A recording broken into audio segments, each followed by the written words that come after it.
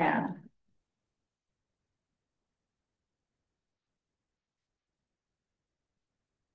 you. Good afternoon, everyone. Welcome to this twenty twenty-five uh operating budget meeting. I'm gonna ask if there's any uh disclosure or interest under the Municipal Conflicts of Interest Act, please disclose now. Seeing none, uh, the resolution moved by Deputy Mayor Anderson, seconded by Councillor Dirksen, that the town manager convenes in the committee of the whole to conduct budget deliberations. All in favor of the motion? Carried, thank you. So we're gonna move, uh, move right into this, uh, budget today. I Want to make everyone aware that this is a draft budget, and this is, uh, brought forth by our council, our staff. And I just got this time, I'd like to thank our staff for, uh, doing this, putting, uh, thoughts on paper. And putting it all together in a binder, I'm not sure who was responsible for that. I know that, uh, since we did our strat plan and our dev plan and our cultural roundtable plan, cultural plan. We, uh, you know, we have a, we have something to go by, up to date. And, uh, we're being led today by our newest member of our senior management team. Our CAO. First time you've done the budget here in, uh, Minto. We welcome you and thank you for coming here and hopefully you've been thanked enough, but um, we might as well just get right into it.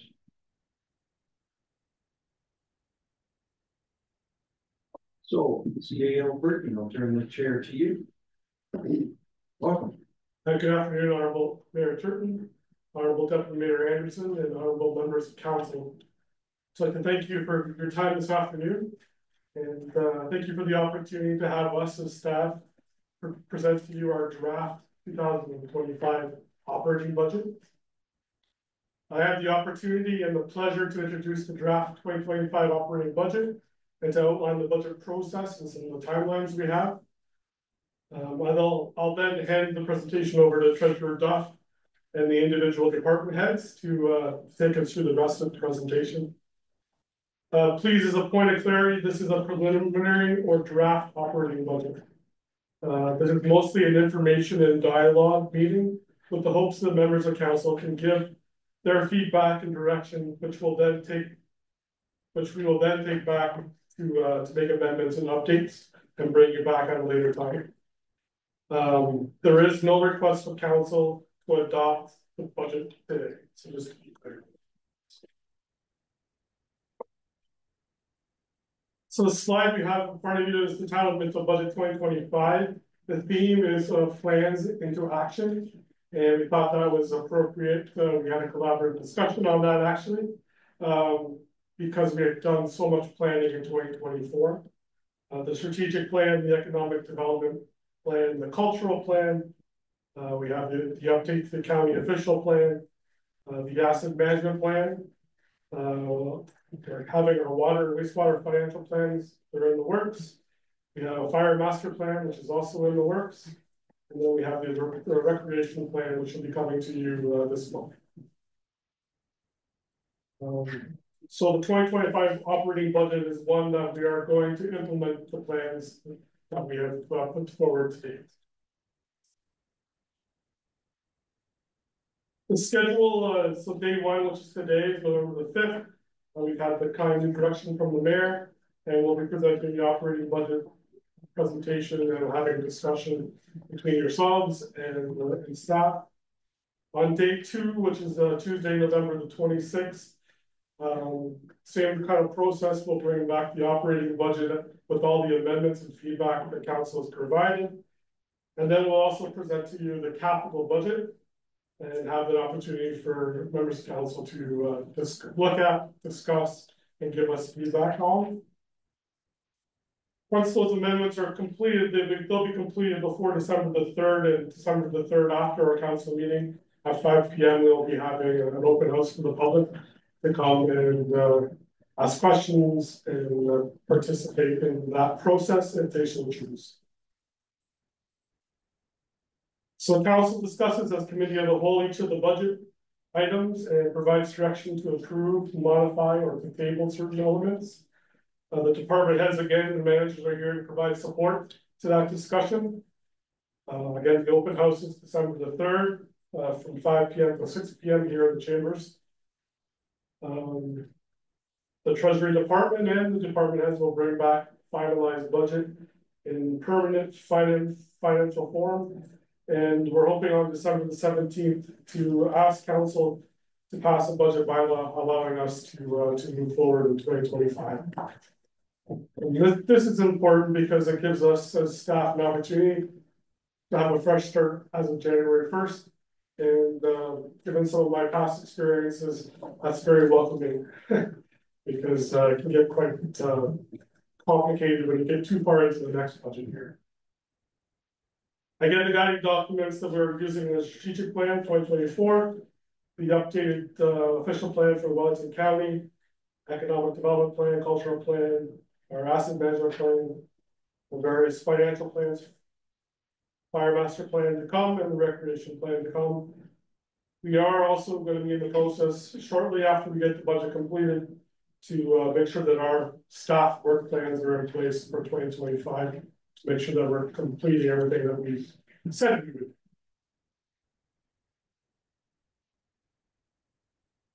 Of course, the vision statement, which council approved back in the spring of twenty twenty-four. Part of the strategic plan, the vision statement is a progressive rural community where all people are welcome.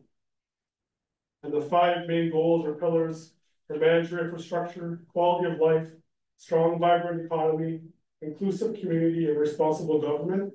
And you'll see in your documents that we've tried to attach these pillars to each of those uh budgetary line items or to the um department of things um. That we're talking about. So I'll hand this over to uh Treasurer Duff. And uh we'll continue. Great, uh, thank you to Courtney. Um, I'm just gonna stay here because I got a lot of papers, I'll probably drop them on. the Uh, so I'm gonna highlight the overall picture, this would be an executive, uh, summary. So you have a, a comparison with the, uh, twenty-four budget and the twenty-five request. Um, I'm gonna go through each department in in detail. Uh, but just from a, a high level, um, we're looking at, uh. be- before any, uh, assessment of growth changes, uh, an increase of eight point five three percent.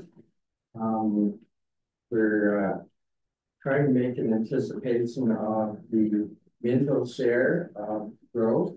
And basically, the impact is about eighteen to twenty-four months behind. So even though building has slowed down a bit, uh, in twenty twenty-five, we'll still be reaping some of the busy activity in twenty-two and twenty-three. So we've, uh, picked the figure of hundred and six thousand, which moderates the increase down to six point five percent. And, uh, we will be looking for direction maybe at the end of this meeting to see how the council feel about that. Because, uh, a lot of it is accomplished through transfers to and from reserves and uh we can modify that to their up or down. Um. So we'll the next slide is not very interesting, but anyway. Uh, it's here just to emphasize water and wastewater. Where's your way for Right. Got that? Okay. Um, the water and wastewater are not funded by taxes. And this budget document is primarily focused on taxes, so that's why we have our zeros and we'll see how we get to zero. Uh, when we get to those departments, they are, uh, cost recovery basis. And, uh, again, any surplus we have to go back to the related reserves. And The next one, so that is kind of the, the main, uh, budget movers, uh, this year. So just for perspective, uh, for twenty-four, the overall tax levy for Minto was six million eighty-nine, six ninety-nine. So one percent of that is just under sixty-four thousand. Um, in this budget, we're looking at, uh, a few drivers. Uh, one would be the, uh, the COLA, it's adopted at four percent. Uh, benefits are up, I'd say a little more modestly this year. That's covered by, uh, the OMERS rules, our pension rules, and our benefit carrier. Insurance premiums, a, a bit more relatively good news. We've had uh, a few years of double digit increases. And I think in, uh, the insurance parlance, the hard market is beginning to soften, so there's a little more uh, competition and uh, less aggressive growth picture. Uh, also, heat and hydro, very, very hard to forecast. Um, but increases are anticipated to be relatively modest, and of course, we're always trying to take some energy conservation measures to offset that. IT, we've done uh, a lot of work and upgrades in the last two years, and uh, I think we're in more of a maintenance and uh, minor replacement phase, so that's going the right way. Uh, vehicle repairs, we seem to be uh, having a lot of issues with our, our aging fleet, so that's going up. And then there's a lot of other smaller items that uh, contribute to the overall. So again, we have the four fifteen, three seventy-five figure, and the six and a half percent uh, overall. Um, we always kind of take a, a high level look at the environment that Minto works in, even though we're a small part of the, the world and the, and the nation, we are influenced by it. Um, it's interesting to see that, uh, unemployment rates in general are, they're, they're trending upwards or being stubbornly high. Um, Canada, we've gone from five and a half percent last year to about, uh, six point six this year. Um, happily, and you'll see some of the countries have really low unemployment they have a real aging demographic problem, so they don't have a big workforce. Uh, thinking of uh, Germany and Japan in particular. Now, locally, uh, we were very close to the national average a year ago. We were at 5.6, and we have updated figures. We're still at 5.6, and we recall the country as a whole went up to 6.6. So, again, we have a relatively tight labor market. So um, the need for workers is still here, even though there's a bit more uh, slack in the market. Um, GDP, the world, uh, I, I think through the interest rates, and this is partly by design, is certainly had a slowdown. Um, growth as a whole has been falling, is much more modest. Uh, hardly anybody over two percent. Two percent is a big figure. Uh, even China at four point two, that's the biggest, but compared to their history, it's quite low. And of course, we know there's global risks of increasing tariffs and protectionism and world conflict, which will certainly uh, contribute to a slowdown.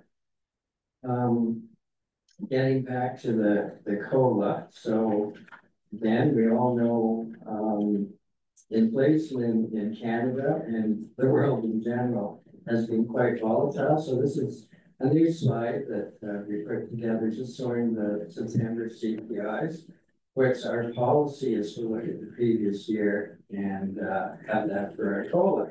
And that worked out really well for several years until um, the 23 budget, when we referred back to 22, and we had 6.9% inflation.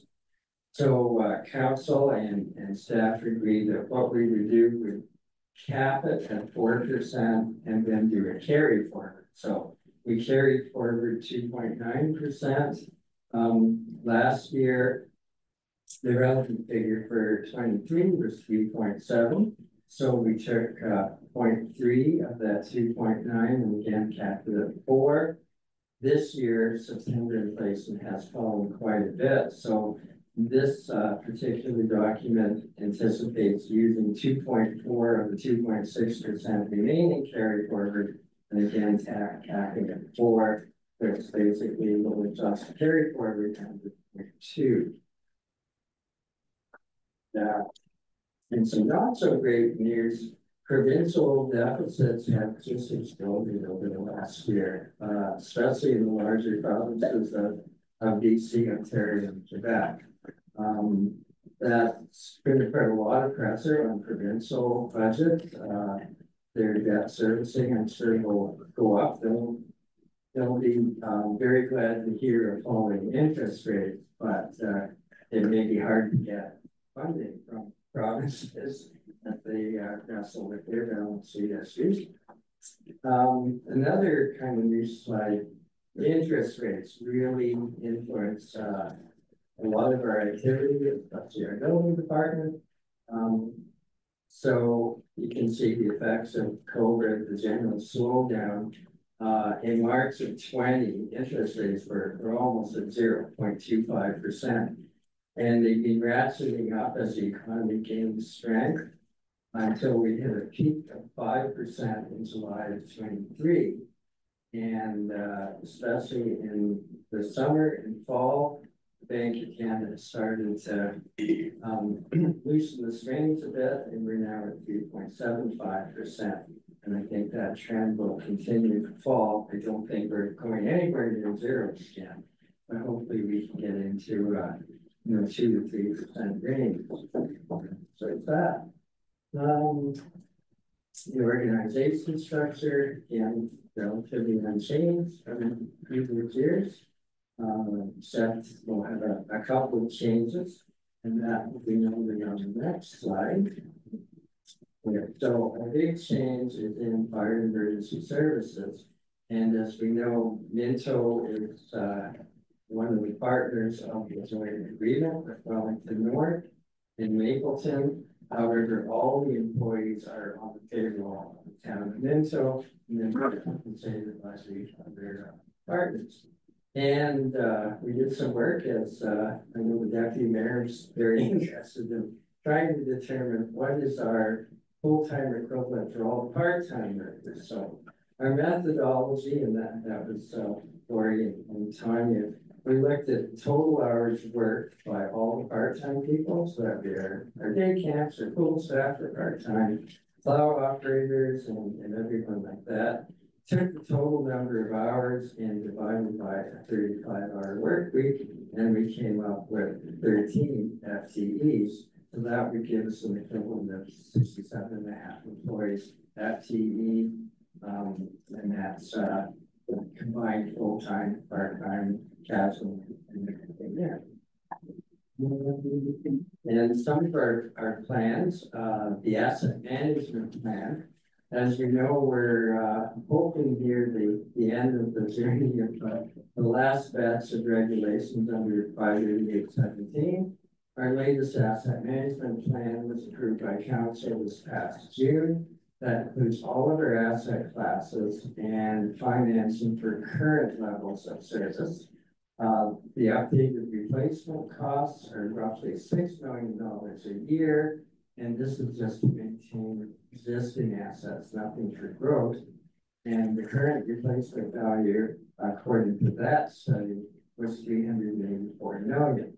Um, our next deadline will be July 1st, 25, when we have to look at proposed services. So um, we'll be getting work on that study very shortly.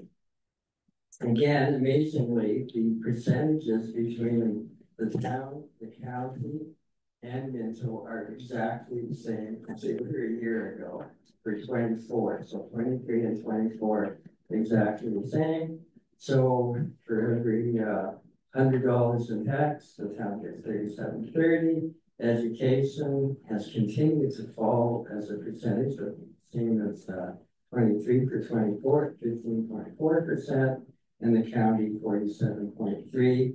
And again, a one percent uh, increase for the town is roughly sixty-four thousand. And then you can see the distribution of the taxes, again, uh, including water and wastewater, uh, between all the various departments, and that's summarized in the pie chart. Um, again, uh, our, our administration, public works, community services, and fire and emergency that three quarters of all that we spend. Uh, The next slide is an update. So when we printed this, um, barely a week ago, we had no idea of what the, uh, OMPF, which is Ontario Municipal Partnership Fund allocation. So we just put a placeholder of exactly the same as, uh, twenty-four. However, uh, the next day, we got, uh, all the council allocations announced. And for twenty twenty-five, we'll be at a million five twenty-one five hundred, uh, which is an increase of forty-seven nine.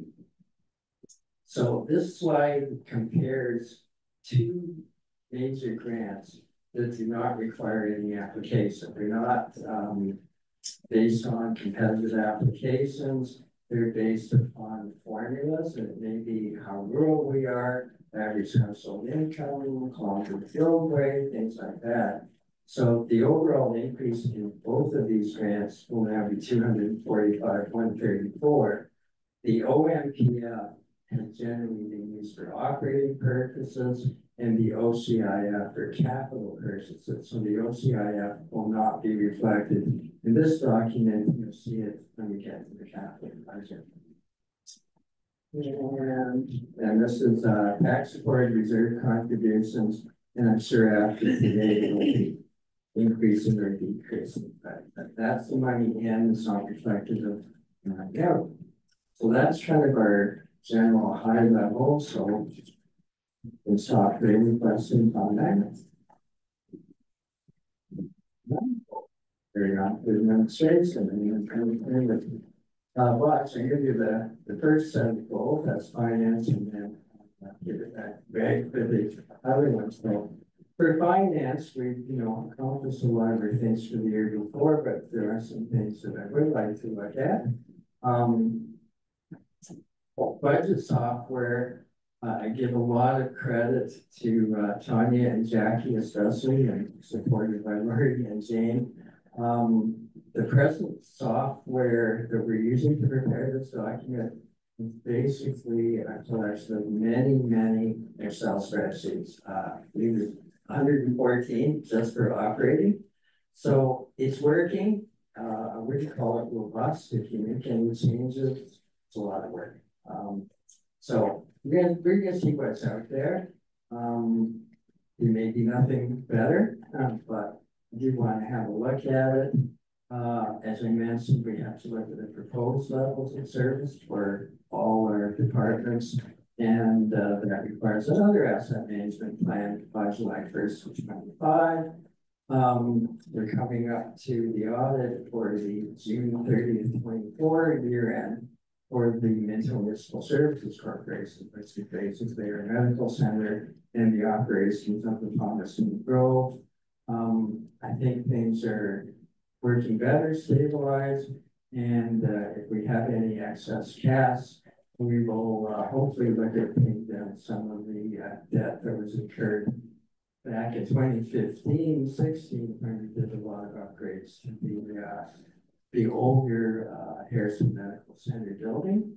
Uh, the CPA Institute continues to work on new regulations, so I know there's going to be something covering financial um, instruments this year, uh, just like we had in 23 for the asset retirement obligations. Uh, I do want to review the accounting software options out there. Um, we've been using ours for a long time. It's a small company that got bought out by a large company. And uh, again, it serves our purposes, but there, if you recall, we used some of the municipal modernization funding to uh, review the market. Um, there's nothing as economical as what we have now, so it will probably require major investment we do decide to change. Uh, happily, I think staff cross training is, is going very well and we're uh, a smaller number of people, but uh, more we know each other's jobs, the better. Um, another one that's not going to be a lot of uh, work, but um, lower tiers of County Wellington will be uh, administrators of a new program. It's an energy initiative by the County of Wellington called the Home Energy Efficiency Transition Program, or HEAT for short. Uh, they're looking for a twenty twenty-six implementation, and basically it's low interest loans to homeowners uh, to upgrade make energy and conservation investments. And speaking of investments in this declining interest rate uh, environment, we have been biasing towards getting guaranteed investment certificates and uh, we have to see if that's the correct strategy. So turn it over to that. Okay? Thank you, Treasurer. Good, uh. Uh, for the two thousand twenty-five goals and objectives for the CAO department, uh, which includes the clerk's department and human resources. Uh, we're looking at, of course, the strategic plan, departmental plan, uh, work plans, uh, human resources policy review and update. Um, begin preparation for the twenty twenty-six uh, municipal election, which is not that far away. Procedural bylaw review and potential amendments. Ongoing bylaw and policy reviews, there's a number of them that need to be uh, looked at. Uh, we've also, based on strategic uh, plan item five point four, uh, council approved the review wage compensation. And so I'd like to do that in uh, two thousand and twenty-five. So it's a pay equity and a wage review. Um, and just to be transparent, so it's, that's the fifteen thousand dollars that you see in the, in our administration budget, the increase. And uh, employee, first, uh, further employee recruitment, marketing and branding study and review. You go to the administration summary under um, mayor and council. Uh, there's an increase of five thousand dollars or two point four percent. Essentially, it's cost of living uh, updates there. Um, uh, meetings and conferences and all that sort of thing have an increase certainly in the new year. Under CEO and clerks, there's a significant increase there, uh, eight point three percent or fifty-five thousand dollars. Uh, the cost of living for staff. Uh, other expenditures, which include conferences and meetings, training, consulting services, which includes that fifteen thousand dollars for the wage review. Uh, memberships and computer software, uh, we will see a revenue decline in wedding ceremonies, unfortunately. Um, not sure what the new trend there is. Um, but I've also, uh, or we have also included an increase in legal services based on our twenty twenty-four year. Um, the elections, there's an increase there of four thousand dollars. Again, we're preparing ourselves to, uh, for the twenty twenty-six election and, uh, we need to bump up our reserves and our funds so that we are prepared and not have to go to the taxpayer for helping supply that, uh, that service to the community. And then, of course, the reserves increase of four thousand dollars, uh, for inflation. That's it for me. Great, um, so finance includes finance department and other things that don't fit anywhere else. So we have some placeholders for um. Annual salary reviews and also I I decreased the amount of transfers from the reserves. Um, to to kind of adjust to get to that gives point five percent figure. Um, so those are the the major changes in in finance. Other than that, there isn't really as much as the legislature there. People and property, uh, that's where our conservation authority values are, and that's major things there. And health and social services, not much change, that's where we put our, uh, contributions to such things as judicial recruitment and, uh, the food bank, so. Um, again, we're, uh, a lot of moving parts in this one, but, uh, we'll certainly take any questions on and then whether it's CEO clerks or finance. Okay, questions? Or treasurer or CAO? Go ahead. Uh, Um, in regards to the health and social services, we haven't looked at any increase in light of the ongoing crisis that I keep talking about, that I experience it weekly. Um, I wonder if we need to look at something like that, uh, as far as office space, which we have talked about community services, because. It's basically the only way you'll get positions, and that problem is becoming ever larger and. Bogging down the hospital system, because people come because they have nowhere else to get healthcare. So they constantly show up to the emergency department, and I think the only way we can look at that for our community is for us to provide that's the solution that's being proposed across the province amongst the healthcare providers is that there are community clinics that are supported by the municipality as much as it shouldn't be, because that should be a provincial responsibility. But it's the only way you can maintain any kind of hope of having a healthcare system where people have access to a healthcare provider within a reasonable time frame. So I, I don't know, it, it, it shouldn't really be our purview, but I'm afraid it's going to happen.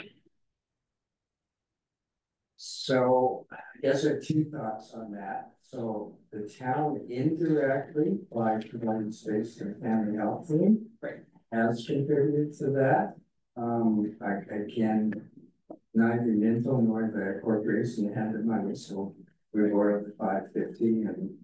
You know, the whole with the midwives and family health team, so we have done that. Um, we also, we, we could consider what you're saying is like something over and above. Um, I believe that, uh, the exec director of the family health team has indicated, uh, some success in, in that department. Right. And I expect they will present their ten thousand dollar request as usual. But we usually have her, I think in, uh, January or February. So again, we could consider making an amendment for that, for that purpose, but I agree with you, say, not our job, but, yeah. Right, entire, it's not, but I think we sort of have to look at it, and other communities are. And there have been some good success stories, I believe Delphi was an example, and they built the building. They run it, they operate it, they managed to recruit six new physicians for the community by operating it that way. They collect funds from OHIP or whatever the paying source, they pay the physicians a salary. So they make enough to actually operate it, but it's a whole other facet that we would have to take on. I don't know that we have an appetite for that. But in the interest of the health of our community, I don't think that we're gonna have a lot of choice. If we wanna be forward thinking and proactive for our, for our community. So just something to think about. Councilor Elliott, go ahead. Um. I appreciate what you're saying, Counselor Anderson, but over the years, I've, I've found. When the government gives us less and less, the provincial government gives us less and less towards healthcare. um, And we get more. And they get less. We get more, then they get less. So the more we compensate, the less they get. I mean. I've often seen that, that one time that we just provided bricks and mortar. And now we're more into uh, helping to make sure the help moves along, but I, that's my concern is, it's great that we come forward, but then it'll be the local taxpayers be paying for it, and it'd be less than the provincial government. That's all I do. And I don't disagree with you at all. Uh, it is a conundrum and it, it isn't the way it should be, but I don't know that there's a lot of choice for our people to have health service available for them in our community. When does it become our job? It shouldn't be our job. But as we look at the provincial deficits, I don't think they're going to step forward much to the plate because they don't have the wherewithal to do it. So it depends on our, we need to assess it, weigh it, and how important is that to us, but it's vitally important to our community. And if I could, I think I'd wait, wait for the ask. Or you offer. You know, if they're doing fine, I'm sure they're okay with it. I would wait for the ask. Sure. Thanks. I think it's important to note that this, uh, this town, our, our community has, has done a lot for, uh, healthcare here, and I mean, are we there? Um, we're very fortunate to have our, uh, MPP, it's Matt Rae. Put forward, uh, money for a couple of nurse practitioners, that, that has been very positive, and I know that our community is very giving. To do with the MRI, but, uh, from another community that has put a little money forward from the municipality for a uh nurse practitioner, but. I don't know, it's a questionable thing, and then the more we talk to our MD and our and our, the better about this.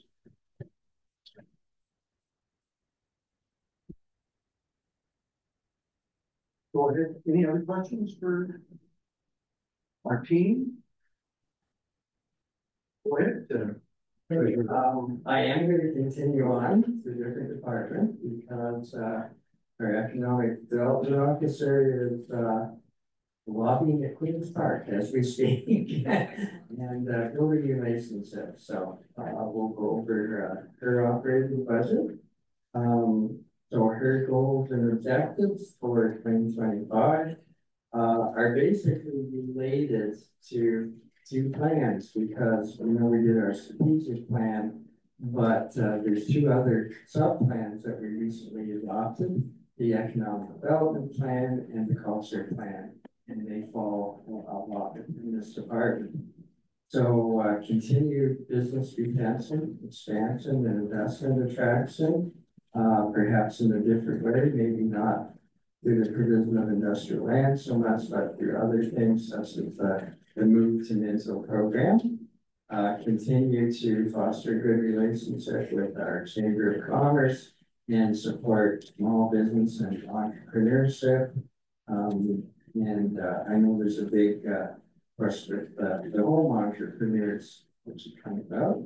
Uh, provide a welcoming community, uh, again, our unemployment rate of five point six, while not.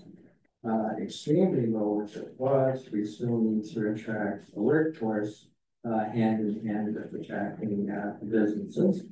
Marketing and communication, again, marketing to our residents and marketing to our visitors. And also have possible, uh, new residents and businesses. And, uh, again, one of the outgrowths of the culture plan was building Minto as a cultural destination. Uh, doing things like our, our recent partnership with, uh, Hanover and like North for the culture bus. And, uh, maybe improving our, our streetscapes and, and continuing on that, that design. Uh, so again, her, her, uh, budget is, is relatively modest in terms of changes. Uh, I guess I should highlight that something that I know she's already brought forward is the uh, upcoming move of our Launch It uh, site from uh, the current building at the, uh, the corner of Warren and Arthur Streets to uh, the main floor of the old post. So that will actually save us a bit of money and I think also uh, raise our visibility. Um, another initiative is to better align Minto, uh, community improvement plan with the county wellington Agreement plan. Uh, I gather quite a few of the lower tiers are going to be working on this. Uh, some of the rules are different, some of the criteria, it would be good if we that. And, uh, so we have an overall, uh, I guess, business structural improvement, uh, allocation of fifty thousand, but we're gonna reduce that to thirty-five for this year and contribute fifteen thousand dollars to the study to align those plans. Um, everything else is pretty same. Uh, part of the, uh, review of our economic development department was perhaps to do fewer events and concentrate on other high value activities, so. Uh, again, the, uh, the financial changes are relatively modest in, in this department. I will try and answer any questions. Any questions on the uh, economic and community development? uh,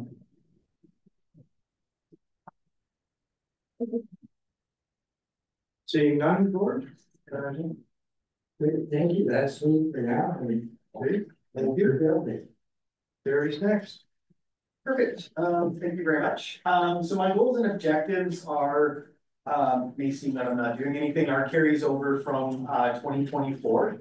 Um, what we've seen with multiple changes in the Planning Act, um, some of the applications and processes that we've developed, we had to modify only to get them reversed again. Um, so it's kind of a back and forth, um, back and forth item.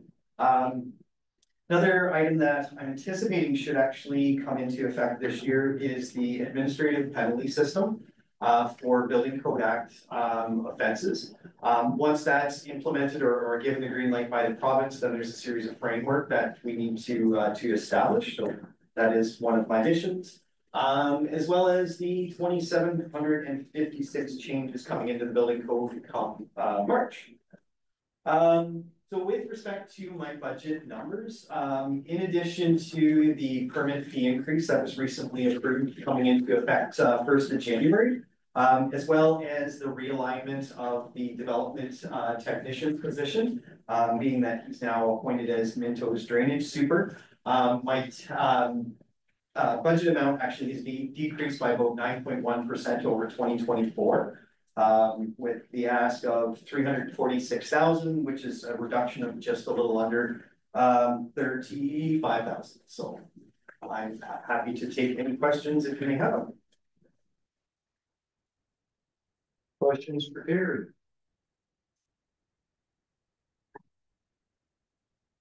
Good questions, Terry, on the training, um. I know that, uh, kind of been promised training on the building code and other items, planning act. Is that started? Uh, so it has in both regards. Um, so actually next week, uh, I'm gonna be attending a session on the changes to the provincial policy statement. Um, so that was released a couple of months ago. Um, and the last two weeks, I mean, across the entire province, uh, doing training on building code, the building code changes. So, um, yeah, there's plenty of opportunities more on the building side of things than the planning, but it's definitely more than what has ever been offered before, which is, which is pleasant. Uh, I would like to think that that's comes part and parcel with, uh, you and your colleagues, uh, asking. I'm sure you've asked before, but in this particular case, with all the changes. It's more important than ever, I mean, interpretation is everything. Yeah, absolutely. Um, so with the training that we did, or I did help with the last couple of weeks, we put through about six hundred fifty-four. Six hundred and eighty-four, sorry, building officials, contractors and designers, um, through it, yeah. Days worth of training, so it's definitely getting the message out there. So is that all face to face or is there a lot of teams and, and, uh, Zoom? That was all face to face. Um, the changes to, or the training on the changes of the provincial policy statement are both. Um, I believe, uh, this Friday, there's an, uh, in-person session in London. Uh, but I'm attending a virtual session on, uh, on Tuesday or Wednesday, not sure, next week. Questions for Terry? Go ahead, Council Popovits. And that's through you, uh, there. Uh, very, um. Just a question, are- the local chapters, like, are they thinking of putting together some training? Or opportunities for our own contractors or designers? Uh, That's thing. So short answer, I can only speak for our local area and we are. Um, I believe on December fourth, we're having a training session in. Uh, just outside of Mildmay, uh, on the part nine, so the housing changes as well as the farm building code changes. Um, I have been talking with my staff about doing one locally here for our contractors, so. Uh, we may be doing that. Um, in addition to that, um, all the nine hundred some odd slides that were presented at our training session last week are available. Uh, will be available to our members as well as a recording of it. So even if we can't do one locally or, or a chapter doesn't want to do one locally. It's, uh, available to all of our, all of our members and the persons who attended, um, those, those training sessions. I think it's very important to do that because, uh, I mean. If the contractors are aware of all these changes, it makes our job a hell of a lot easier when we go to enforce these things. And we're not making them rip drywall off or whatever, because they were aware of the code change. Yeah, and we, we've done that. We partnered up with local municipalities to host that with previous significant changes because it's easier to teach a whole room full of people once opposed to every single job site, you're teaching the same thing over and over again, so. Good job. Thanks, thanks, Terry.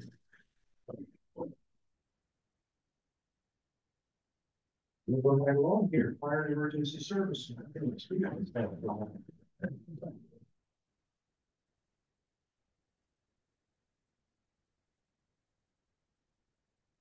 Um, thank you, Mr. Mayor. Um, this is our, our big goal for this twenty twenty-five is to continue aligning the partnership. Um, it was a big task year, we tried to align the three budgets, that they were all similar in nature and similar in categories. And making sure that they were similar in what we're budgeting for each municipality, so that will continue in twenty twenty-five. Obviously, starting in April, we still have full year of data, which makes it really difficult and a full year of financial figures, so it's really hard to. To nail it down on what everything is, so we're still working on that, um. We wanna create a stabilized recruitment and retention program, so we can have a consistent.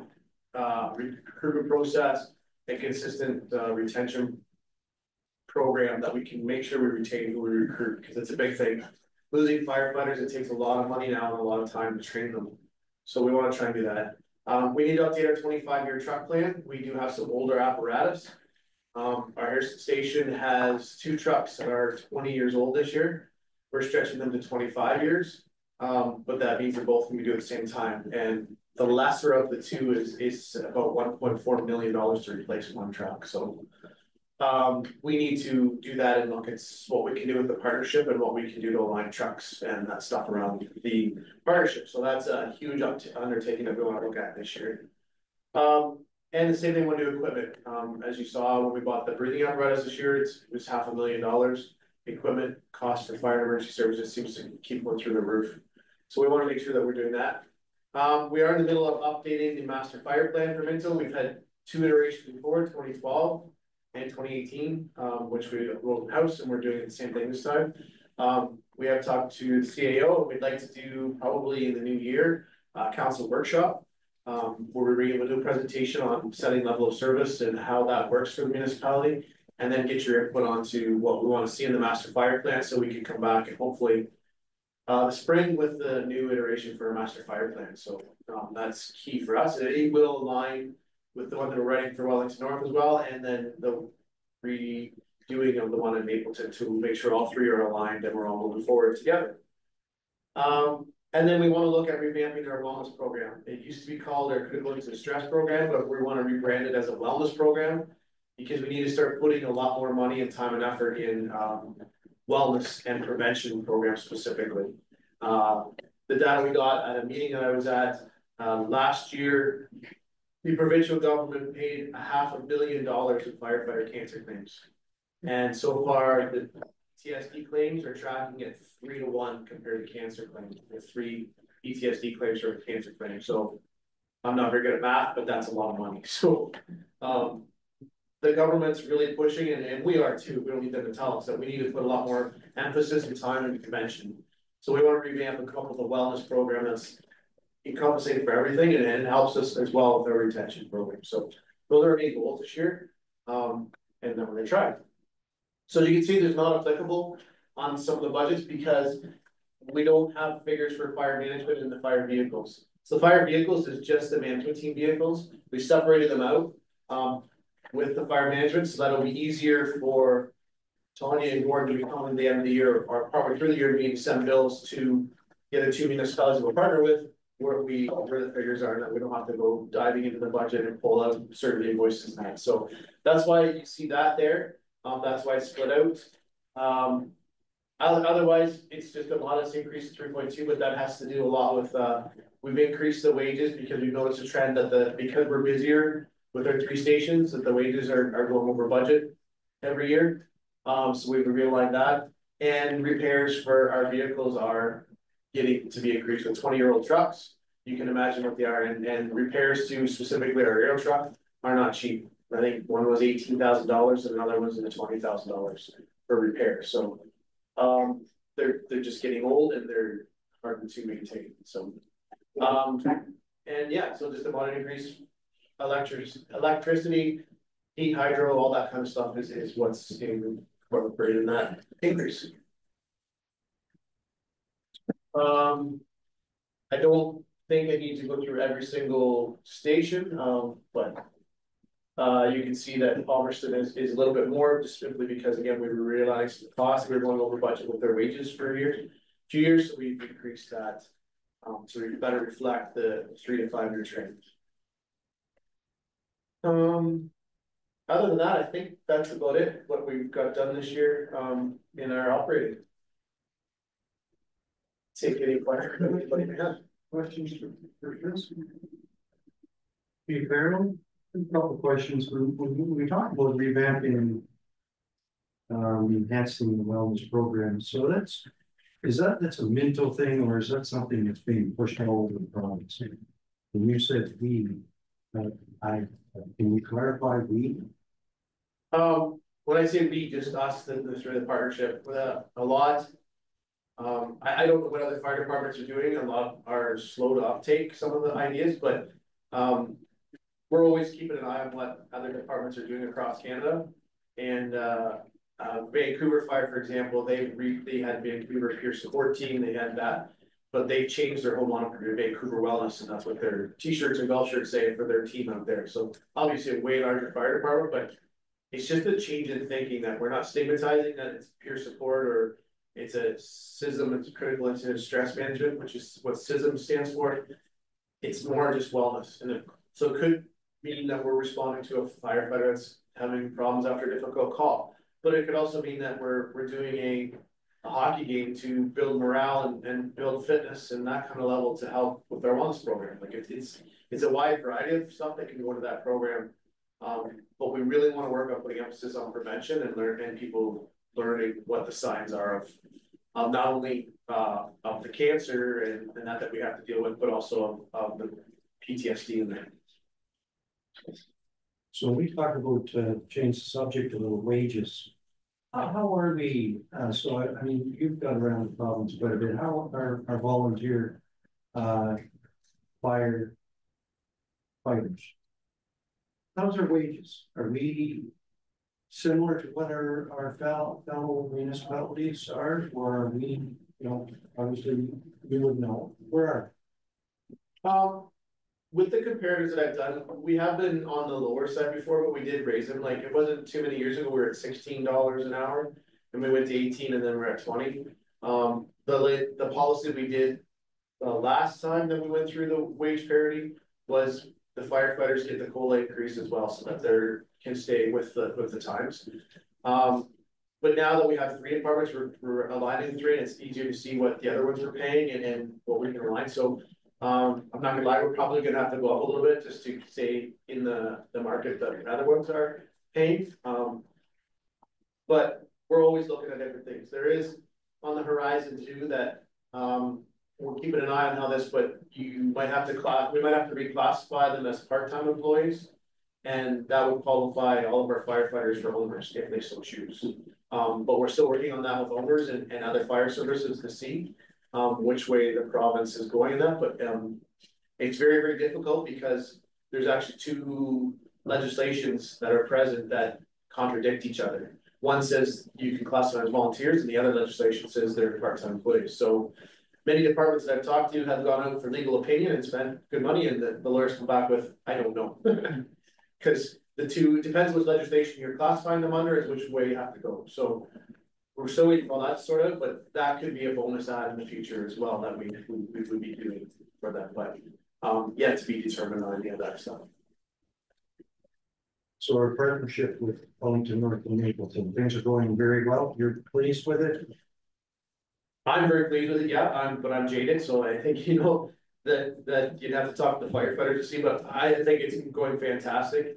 Um, the example that I'll use is, that I've used at other councils is the training officer position that we, we were able to hire. Has changed the training program significantly. Um, I was trying to do it as well as the other duties and I, I just wasn't paying it enough attention that it needed. Now we have a dedicated person that's just doing training solely and, uh, keeping track of it and, and ramping up our practices that they're, they're more worthwhile, and we've we've already had three or four three-station practices where a Minto station is trained with Mapleton and a Minto station is trained with Wellington North, and we're combining that, so, um, that alone is, the value added has been significant that um, we're seeing a lot better training, a lot more organized, which is really helpful for the firefighters when they show up. We can give them two hours worth of good training. Um, that I wasn't necessarily able to get organized as much as before. Thank you, Chris, go ahead. See you, Bernie? I just add on to that, uh, Mayor Turton, I have spoken to the other CAOs of the partner in the partnership and uh, they've all been glowing about our fire management team. Especially Chris and the two deputies and the additional staff, so uh everybody's very, very pleased. Great. Any other questions? Go ahead, Councilor Elliott. I think this is more of a comment than, than a question. I would suggest that you come with that, your firefighters or people that are involved in your fire department. Money is secondary to them. The first thing is to come and support the committee and be good. And first line people, and I uh, do appreciate that. And they should.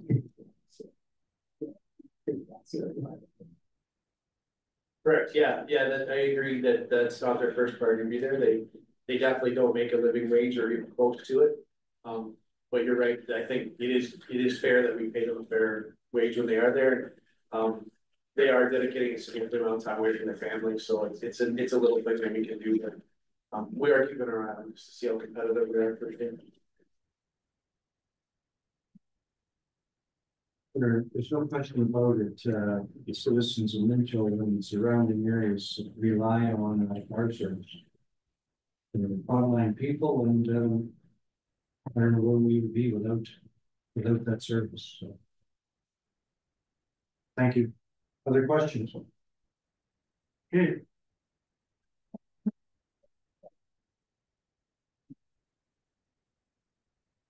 We're moving right along to.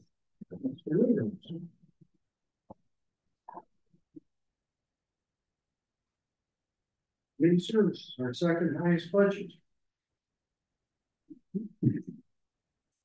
Thanks, Mayor Turton. I, so we're gonna leave with that, but, uh, That's a fact.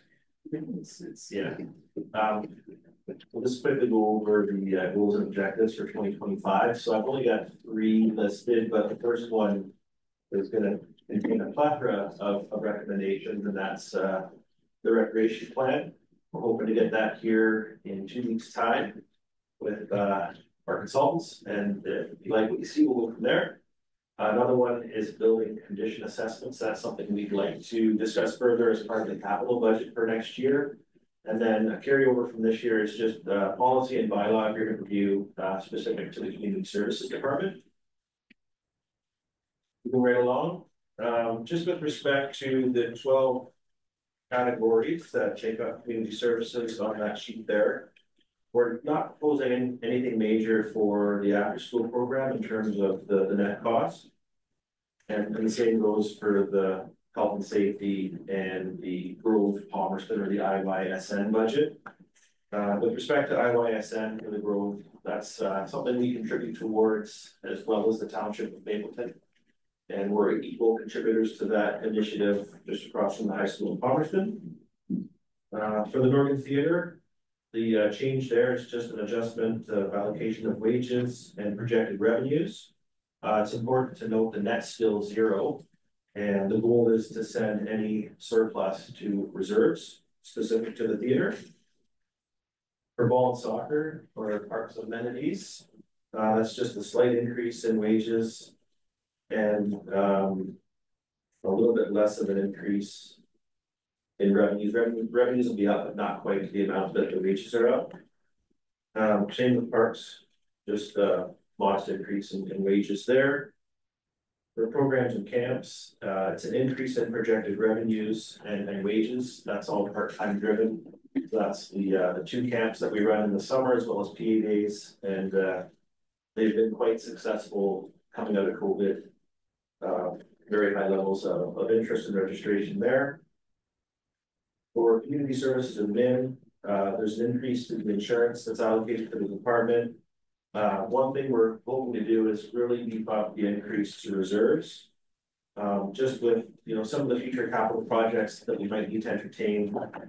I think it's important that we keep, uh, reserve contributions. Um, at a, at a good level. Respect to the Clifford Arena, that's, uh, Again, transfer to reserves, looking to bring that back to uh a little bit higher level. For the Harriston Arena and Palmerston Arena, so this is all covered under. Recreation facilities, it would be the cost of living adjustment for the full-time staff. And then a little bit more part-time staff for our major events and some of the busier nights, specifically at Palmerston, when we've got uh. Quite a bit of activity going on there. It is nice to have a second set of hands. For satellite facilities, it's a rowing museum, I believe the grant next year from the capital. Um, so that's down a couple of thousand dollars. Uh, for the Harriston pool and the Palmerston pools, uh, just slight increases to the the part-time wages for the lifeguards. And, and trails is essentially the same as, as last year, or sorry, this year. So in all, um. Of the net increase, about forty percent is to increase transfers to reserves. Again, we were just north of two hundred, it'd be nice to get a little bit higher in terms of that, so we're looking at about two hundred and thirty thousand. If this budget's approved for, next year, and there's also insurance, that's, I don't think that's ever gonna go down. And the other one was the, uh, we're gonna try. If it works out, a vehicle lease this year as opposed to buying uh, a capital. And so there's a slight increase to the community services admin line for that. For that, Any questions? Questions for Matthew?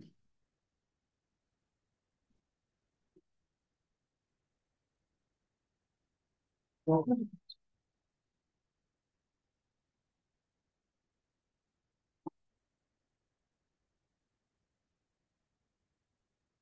One question, um, in reference to the rent from our, uh, two current. When was the last time? And I'm just looking for it, I made some notes and can't find my notes, but can, so I think it's twenty-one thousand, we agreed. Both of our, uh, current Welch Palmerston and Harriston with the same. Um.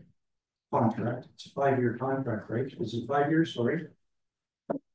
Yeah, um, the American, the curling club contracts, they're exactly the same and they're treated the same. Um, they work for a period of time and then there's a, like a carryover clause if both parties are happy with the terms and conditions. So the main thing with the rent is it's tied to cost of living. So as cost of living goes, the rent increase goes, and that's, that's covered in the bylaw agreement. Um, those will be a couple that we'd like to look at next year, uh, just because the one year with cost of living being almost seven percent. I believe their bylaw agreement, it's, it's capped at two. So certainly with those two agreements, we'd like to look at them next year, just to make sure that, that it's, it's a fair deal between, between us and them. But, no, one of the things that we did probably eight or nine years ago was make sure that they're i- identical, just because they, they operate relatively the same at each facility. Well, so when you look at uh wages, you look at hydro, you look at heat and all the other things. You know, I think it's likely time that we looked at that, so. I mean, the other thing you look at in reference to hydro. You compare Clifford to Palmerston and Pearson, it's it's.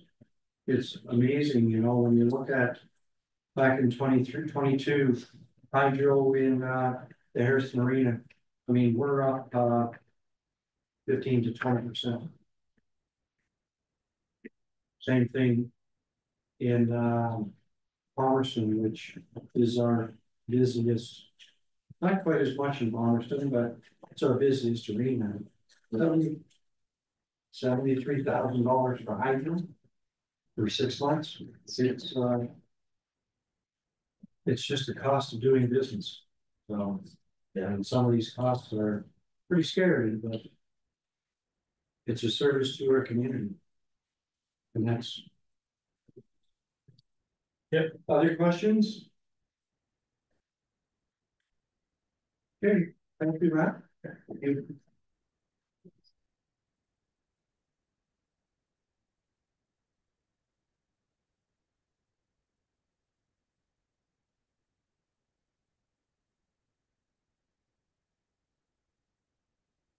I wasn't picking on you, Matt, uh, when I said it was second highest because now we have, uh.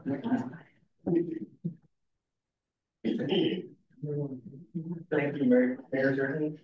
Um, just starting off with the goals and objectives for this year, uh, we're gonna continue on with capital projects that we shovel ready for any opportunity, if there is funding available, um, will be a few other capital projects presented in the capital budget in a couple weeks, but, uh. That's the primary reason for that is, uh, for shovel ready projects. Um, fleet management review, along with what uh, Matt had suggested earlier we're looking at options involved for leasing. Or other sort of rental agreements for some of the larger equipment, uh, to cut down on the the overall capital, uh. Costs and overhead there. Um, Main Street is coming up here, uh, there will be some, some minor works happening. In Palmerston, Main Street next year, primarily, uh, utility uh, moves and stuff like that, preparation for the actual road re- reconstruction in twenty twenty six. Um, preparation for future development lands, uh, we're constantly in communication with the building department, um, just servicing requirements and road networks and stuff like that for, uh, future development lands.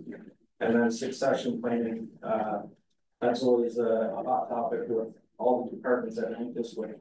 Uh, we do have some retirements coming up in the future here, uh, in the near future, in the next few years, so. Uh, that is a, a hot topic for a lot of the departments here. Um, the first one I have is, uh, cemeteries. Cemeteries is, uh, a minor increase to the budget there. Uh, one thing to keep in mind with the cemetery operation budget is. It is subsidized by general taxes. Um, as we were only able to use the, uh, interest on the investments from the perpetual care and maintenance. Uh, that is available. So I think last year we were sitting at about ten thousand, of the overall budget for the actual interest uh, available there. Municipal drains. There's a slight adjustment there, uh, just for wages, uh, just due to actuals, the revenue we're, we're anticipating from the, the master grant there. Uh, just based on actuals this year, we do project it to be a little bit, uh, lower that way. Uh, roads and min. Some of the big items here are the, like our insurance, uh, principal debt repayments and interest on those, uh, payments. Transfer re- reserves. And then the, uh, COLA increases throughout. And then the increases to the safety clothing and equipment. Um, just some of the. Just being out there, uh, with the staff. Uh, the guys could be pallbearers all the way to picking up garbage in the side of the road, so. The, the aesthetics out there, it's, in our appearance, it's, a, It's a high priority, at- at least for myself, so. Um. Roads, maintenance. Uh, there are some various account adjustments here. Um, this is primarily the, the gravel road resurfacing and dust suppressing. Uh, hard top repairs and sweeping line painting sidewalk repair. Uh, replacing signs, the, uh, stop lights out there, any of that electric about. And then bridge maintenance, retention ponds and stormwater systems. Um, it is nice having the staff available. Uh, we do do a lot of these projects ourselves with exception of some of the larger stuff, like the dust suppressing, we obviously don't have the equipment to do that. Or even the maintenance gravel to, to haul it, uh, to the locations where it's required. Um, streetlights here. Uh, just a slight, um, increase to this budget. Uh, the one thing to keep in mind here is this is the last year of the real term, uh, contract. I believe it's, it's done in August. So in future budgets, we should actually be able to see that our, um. Reserve, transfer reserves go up, with one of their maintenance, we're able to keep our maintenance, uh, on these items to a minimum for quite a number of years. Uh, trailer parks, a slight increase here, uh, just with, uh, based on the resident, residential tenancy act. Um, we're able to increase that, uh, slightly there. vehicle costs. This really hasn't changed at all from last year. Um, these costs and revenues for each year, we show up as uh, expenses in the other various uh, budgets through the public works list here. Winter control, we took a bit of a, a hit with not having the revenue produced from the maintenance of county roads two and three. Um, however, currently we're sitting at about fifty percent overall for twenty twenty-four. So we should be in a good place for twenty twenty-four. And then depending on winter seasons, how they uh come about is obviously gonna dictate what the actual expenses are at the end of the season there. Um, a couple of the hard costs associated to winter maintenance are just the purchase of the salt and sand. And then our area contract for the connecting links. The other stuff, like our labor and uh machine time, is quite flexible depending on the actual season. Um. Town landscape care. Uh, slight increase for uh wages, uh similar to the rest, uh and minor other adjustments throughout. Um. Yeah, we're, we're very fortunate to have the crew and the team for TLC. Uh, to keep these green spaces and downtown core areas looking the way they do, um, that's for sure. Okay. And then you got Robertson Street, this is just the revenue produced for the rental of, uh, for the housing of paramedics. Uh, paramedic services in Harriston. Uh, just a um, slight increase there. Then we got that. Questions for, uh, for Mike, go ahead, Councilor Elliott. Yeah, Mike, uh, what happens if, you know, when winter control, we have a soft winter and um, we spend after that funds of only six million, whatever it is. Um, what do you do with that actually? You put it back into the different programs that we've got. Hopefully it goes into reserves. Go- go right back in. I, I haven't actually witnessed a, a surplus of a winter season as long as I've been here. Um, this would be the first year if anything, so we'll see what that looks like. So like. Yeah, well, typically we're a couple hundred thousand over at the end of the season, just with a few of the harder winters that we have seen. But like I say, we're sitting pretty good for twenty twenty-four, at about fifty percent, which is January, February, March, into April-ish, and we've only got like a month and a half left kind of thing. And It's a couple of real big storms there. yeah, that's to say they can uh, use it up fairly quickly, that's for sure. Thanks. Other questions? Question like on the trailer park in Palmerston. Yeah. Is that, uh, how often do we? Can you tell me a little about, is it a sliding scale in reference to the rental on the properties or is it, do we use the, uh? How, how's that? work? Like for the actual increase of the rent. I believe we just use the, like the, uh. Resident, residential tenancy. Yeah. Yeah, Yeah, that's, that's correct. Uh, like, we're kind of like a residential landlord, like anywhere else, subject to rent control.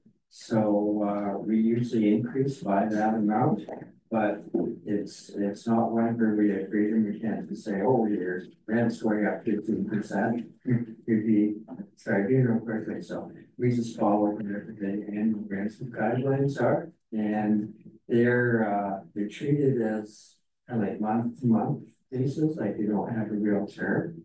But, uh, again, they're, uh, they're very popular and we never had any trouble, um, having full occupancy.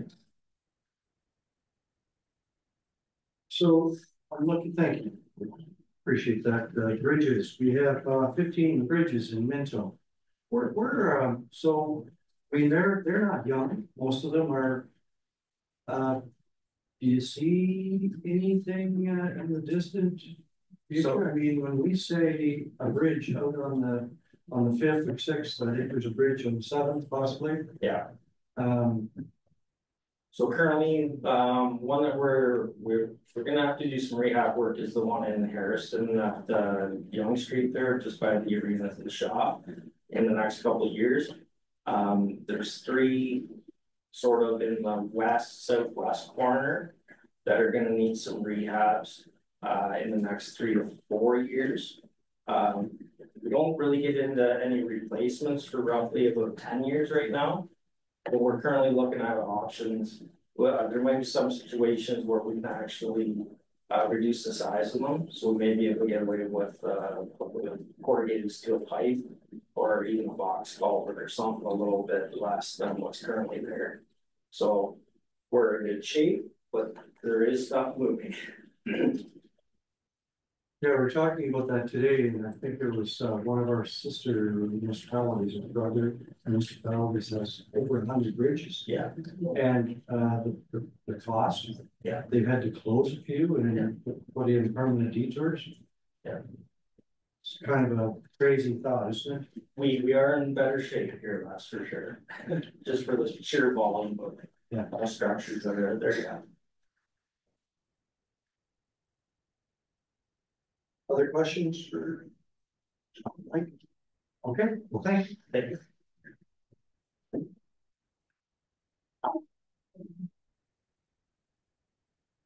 We got Mark up in double, double duty. Today, right? Yep, I'll be playing wastewater and water services. manager, so. Uh, I guess we'll start with wastewater. Um. Got our. Goals and objectives for wastewater this year. We want to start with uh Young Street Sewage Pumping Station rehab. Um, we got a SCADA system in there that is in in need of updating and uh and some pumps, one pump. that needs to be replaced in the station, so we're hoping to get that done. Um, Harriston and Clifford Bank stabilization at the lagoons, um. Very careful, little further of this, but uh when you have a uh wind, it erodes the edge of the. the Lagoon and that needs to be adapted and addressed. Uh, we have our CLI ECA implementation. Um, we, we got our CLI. In twenty twenty four, and then it has uh, uh staged implementation over time, we'll continue with that. We're also gonna continue on with the uh sludge mapping at Harriston Lagoon, keeping a good eye on that, um, so we can. Uh, make sure we know when the lagoon will need to be cleaned out and what the volume of it is when that needs to be done. Uh, so all that will be uh continuing on with uh our existing clarifier from the wastewater treatment plant. Uh, rehabilitating it, bringing bringing it back up into um operation, so we'll be able to have two operating clarifiers at the plant. So with the uh, summary, it's a little tough to tell where the increases and decreases are, but, uh, I just went through line by line. Uh, if we looked at our overhead, uh, administration had, had a slight increase. And then it was interesting, uh, you, uh, looked at all three communities, they all had increases in the same places. So Harriston, Palmerston, and Clifford, we had increases in insurance, hydro, uh, debt servicing, as well as um, uh, treatments like the chemical treatment. Uh, we use aluminum sulfate for that. Um, yeah, that's basically the, the increases for the, the wastewater budget. Questions? Questions for Mark? Yeah, sludge mapping, uh, Mark. What year did we, you know, that, that's uh, a, there's student sludge. Yeah. What year did we do that lagoon? 2009 nines last time.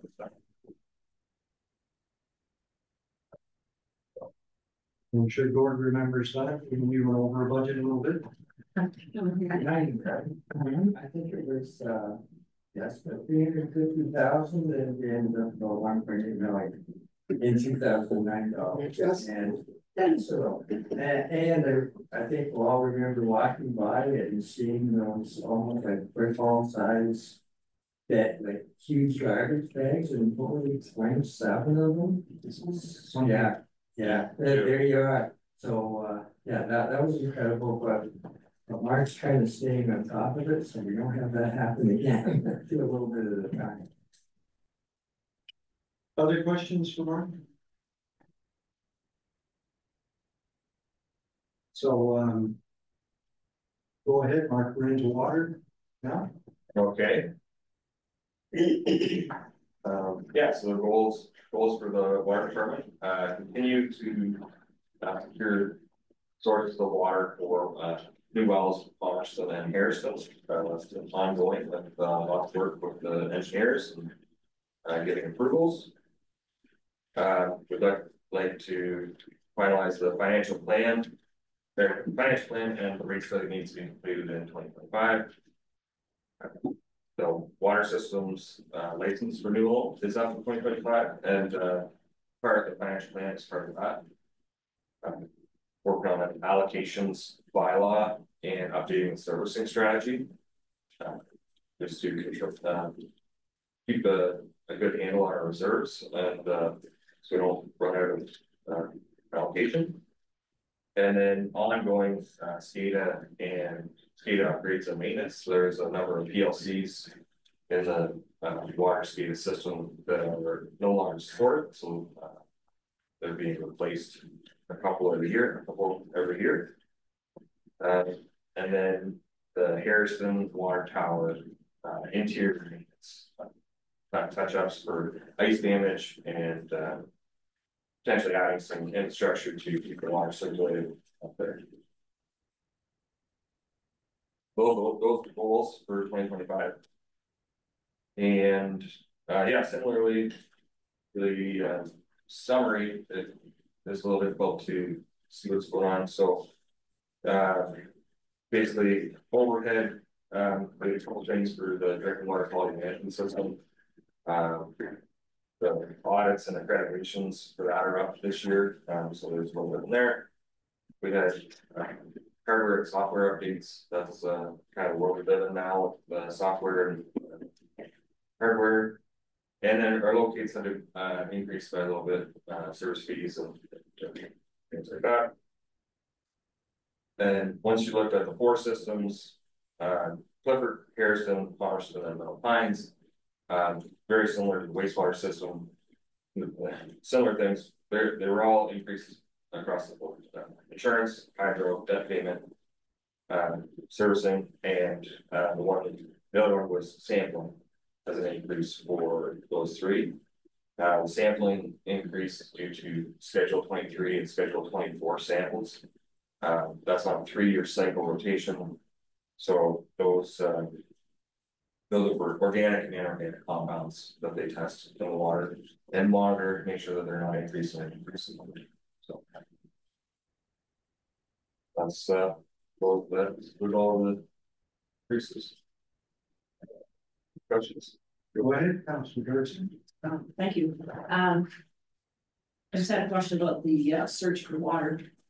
For uh, with water source for Harriston and Palmerston. Uh, I don't know how many years we've seen that on a budget now.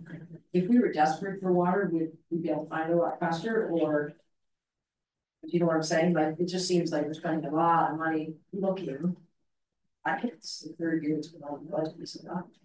Yeah, that's a good question, and I wouldn't be able to answer that. Okay. Well, we'll go somebody else. Yeah, so Oh, but Maybe the treasurer. Yeah. Um, you're very right, and I, I think, uh, Audrey totally agree with you. I know we've many discussions, Steve, we're spending a lot of money, but you don't go well. Um, again, this is such a highly regulated area. So not only do we have, uh, the Ministry of Environment and Climate Change, we also have source water protection. You can see a big dollar item coming in for that. Um, and again, this, a lot of this is driven by future development. Uh, it's not so much that we have shortage of water, but all the projects on the books go ahead. Both Harriston and Palmerston, we do need it. Um, yeah, it seems like uh, even a minor one like Minto Pines, which was not a complicated project. I'm sure we spent much more time on the paperwork than we did in the actual well drilling and uh, like it's mining and service. But we thought that would happen all of twenty-three. Uh, so you're, you're not wrong. Uh, definitely we spend a lot of money in engineering and approvals before we actually do the work. And of course, the cost of the work, I can't imagine well, you were around when you did do the, uh, the Clifford well. And, uh, like what you hear from neighboring communities, it's probably like three times as much as what that one cost. Um, yeah, but again, the necessity, uh, a very expensive one too, and, uh, that'll get reflected in that water and wastewater settings. Could I go back and ask a uh, wastewater question? Yes, ma'am, go ahead. Oh, clarifier, so we, we put it in the clarifier conversation. Um, so are they both going to be operating or is, is it more an idea of the one is, um. Is there in case there's a problem with the? Uh, so eventually they will both be operating. Um, the. The one we had was in need of repair, but we only had one. So we had to build another one in order to keep the treatment train running. And the way we had the design um was if in the event there's a, when there is a future expansion, both cars will then be used. So this money, um, calling the existing one, which is really the original one. Yeah. Um, it's, it's just to bring it up to par so that it can be used. Yeah. Thanks.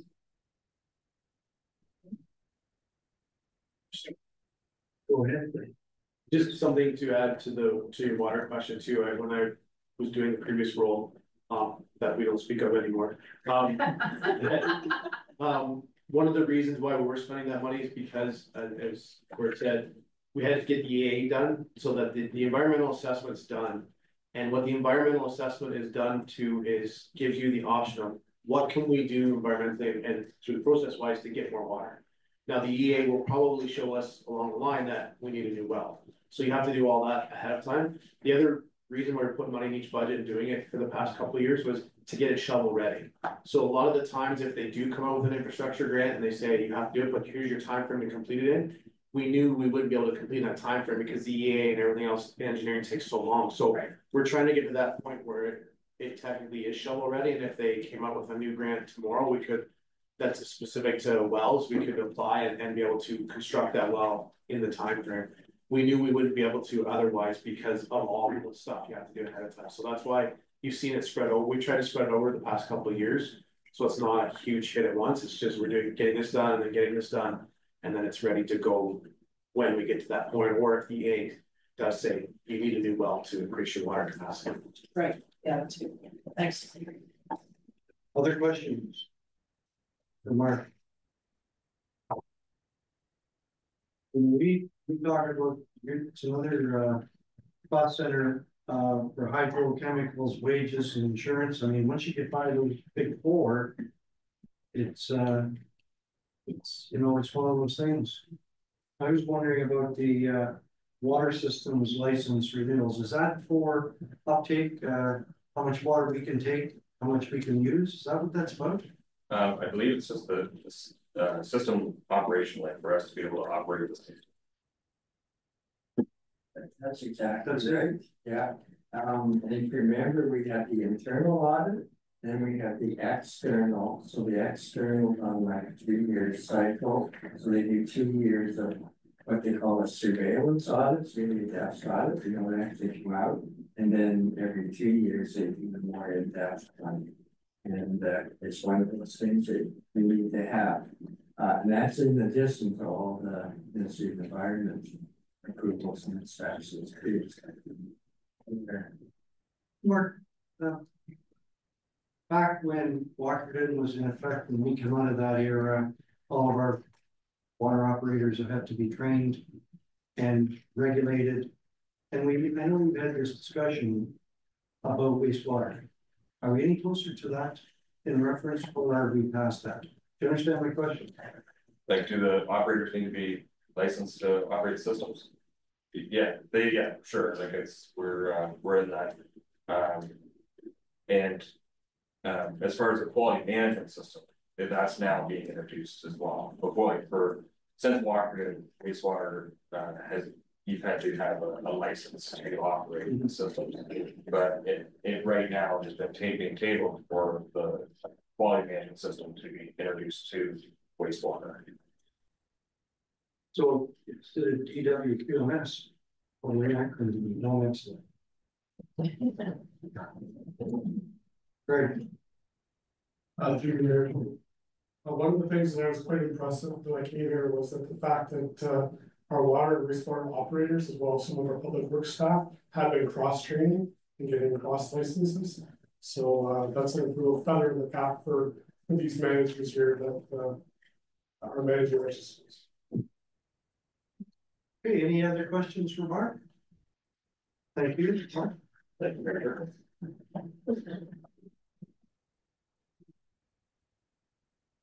Okay, or are you, uh, on the, on the departmental? Yes, uh, and we basically have covered that already, that, uh, the OMPF grant, actually, we talked to Mayor's Golf and go too, but it's a break even.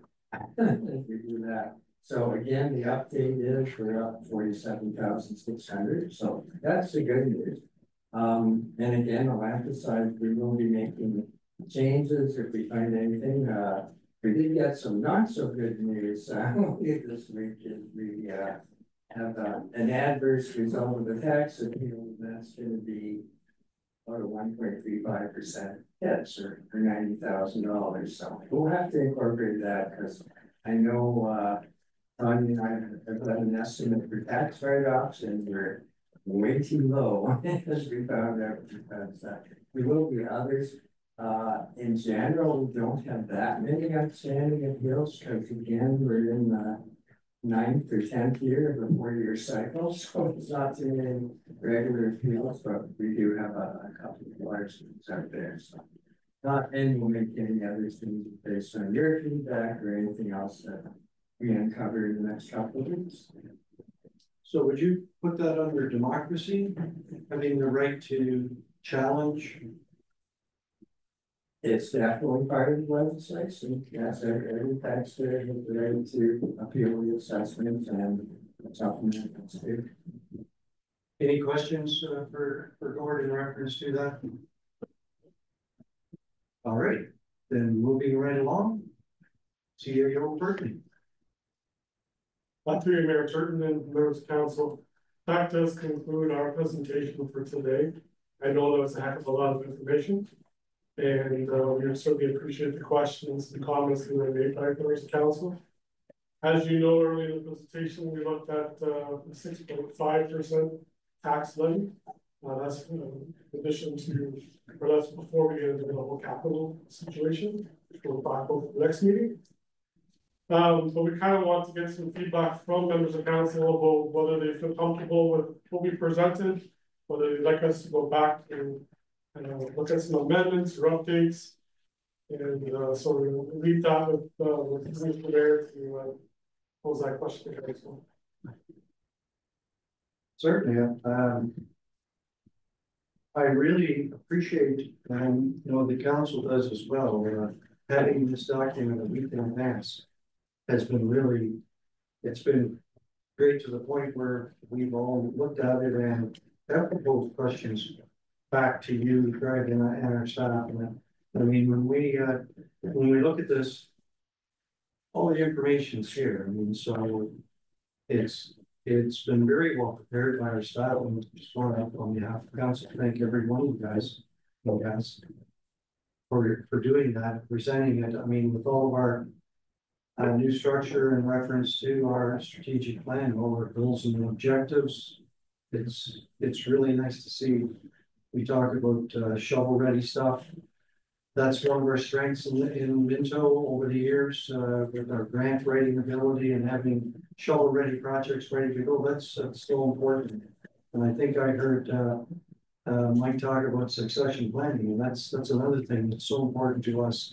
So for us to sit here and listen to you folks how prepared and how well this has been prepared and put together for us. I mean, it's, it's terrific.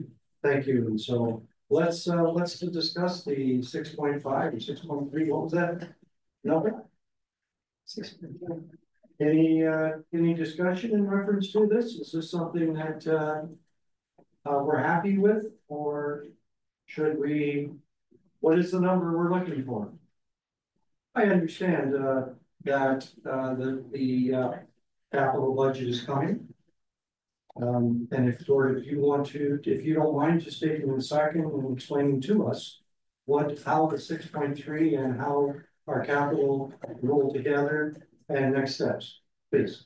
So, um, the last couple of years, and that's the way we're doing it this year because we're well into the process. The capital will not likely have any effect on the six point five because we're rolling all capital expenditures to reserve funds. Um, we may look at that again, uh, for the twenty-six budget, for, for twenty-five.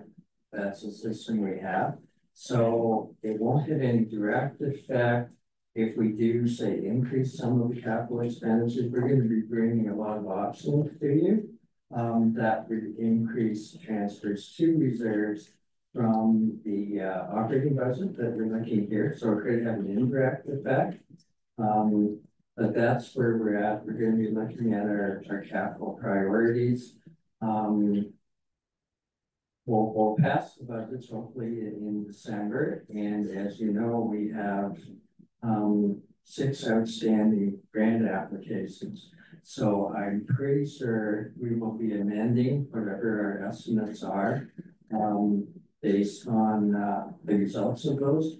Uh, we're, we've got, uh, connecting link grant, that's we're going to submit next week, and then that will conclude all the capital grant applications for this round. And uh, as you may recall, so many of them were announced at moment. And uh, just into the due dates now, but we'll present them. Um, some of them, if we're optimistic, will say, yeah, we, we think we'll get it. And uh, a couple of the projects will probably not go ahead if we don't get the funding. But our big one will go ahead regardless of the funding, uh, is how we uh, actually pay for it, how much that we take on, so. Um, yeah, again, we can, uh. Think that six point five, whatever is, is desired by council, is how we get there. Sure, so when we look at the six point five, the only way that would alter that is reserves. Basically, and any new information and unfortunately, new information that we got from there is going in the wrong direction right now. So for that. And when we look at uh the three big projects, the, the big one is Palmerston Main Street and the other uh, two are the, the two wells that we're talking about. Correct? Yes, that's correct, and we pretty much know ninety-nine percent. Palmerston one is twenty twenty-six. The wells, as indicated, depending on how the paperwork and the other sources of funding. Could be twenty-six, uh, could be twenty-seven, um, very unlikely it's gonna be twenty-five. And so in twenty twenty-five, we will not likely borrow a whole lot of money un- unless, I would prefer not to borrow because we know we do have to borrow, but again, the council has other priorities. List we bring forward, then they say that's gotta go in twenty-five, we may have to reconsider our position on that. so I'm gonna be the first one to offer good luck on those grants, all, all six of them, or is there seven with the connecting links? That's just six. Six, well, good luck with that. So if, if, uh, I mean, if you are in and around Mr. uh. Our MPP, Mr. Rae, uh. Not sure how we can influence some of these, I, I have no idea whether we can or whether we can't, but. What are your thoughts on this six point three? Go ahead, Deputy Mayor Anderson. Um, not a thought per se yet, just a question, uh, Terry, in regards to the need for water, that was a pressing, pressing concern, was looking at water, we were limiting. The number of building permits we were giving out, but building seems to have slowed a bit, even though I know there's lots of. Plans out there and permits, but is the pressure the same as it was, when do we anticipate? Uh, so the, uh, we have not limited recently, uh, issuing building permits for any development, but, um. As mentioned, if all the projects that are in the work, so are draft approved, um, but not moving forward at this moment, pulled the trigger, we would be overcommitted with our Harriston water allocation. So that if everybody built tomorrow, we would not have sufficient amount of water, so it depends on the speed of these developments Okay, as to when. What percentage, what would the deficit be per se in our availability to provide and, and what's the trick, how long would it take to build a well? Uh, to build a well, uh, I'm not the expert, probably a year and a half. Okay, that's what I'm Um, thinking, it's not a two month project. No, uh, but as for how many were short, it's like seventeen units. So it's not drastic by any means at this point. Um, but with the county's growth forecast, we're going to run out of water before they anticipated we would run out of water. Okay, alright, so there's some pressure there. Sorry, sorry, sorry, go ahead. The other thing to just remember with that is the, the way that um reserve capacity unit is calculated, it- it's done with uh. It's called firm capacity, so you take your highest producing well, you have to assume that it's out of service. And then the, and the rest of the wells supply the rest of the community with the water they need. So that's just an engineering practice, so you would, we wouldn't actually physically run out of water. Okay, alright, so I, Only in the event that there I get it, so others would step in and fill the gap, but according to the numbers as they look, it would look like it was out of, okay, alright, that makes some sense, sort of, I'm not an engineer at all, but, uh, okay. I get from robbing Peter to get paid Paul. Okay, thank you. So just to extend that, thank you, and you others, sorry. No. Palmerston, I mean, we're talking about a well there as well, is it under uh a similar situation, gentlemen? Um, just off the, off the, and I couldn't tell you the exact reserve calculations there, but uh, the reserve numbers are a little better in water, uh, in. in- The county's growth forecast has uh, sufficient water capacity to, I believe off the top of my head, twenty thirty-six. Um, since that, again, we've got more subdivision applications that are happening, expansions to existing ones, so. Uh, definitely not as same, same amount of pressure as Harriston, but again, we wanna kind of get ready, so. We don't have that development shut down where we can't. Allow anybody to build because we don't have the calculated capacity.